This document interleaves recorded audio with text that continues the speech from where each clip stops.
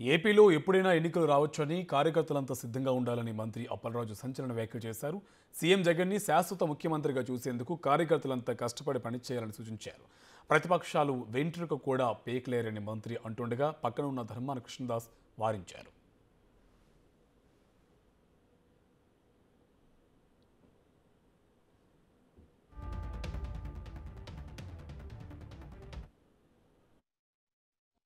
రాసేవాడికి వార్తలు ప్రచురించే వాడికి కనీసం ఇలా రాస్తే సిగ్గేమో ఇది తప్పేమో అన్నటువంటి ఇంగిత జ్ఞానం లేకుండా కొంతమంది వార్తలు రాస్తా ఉన్నారు.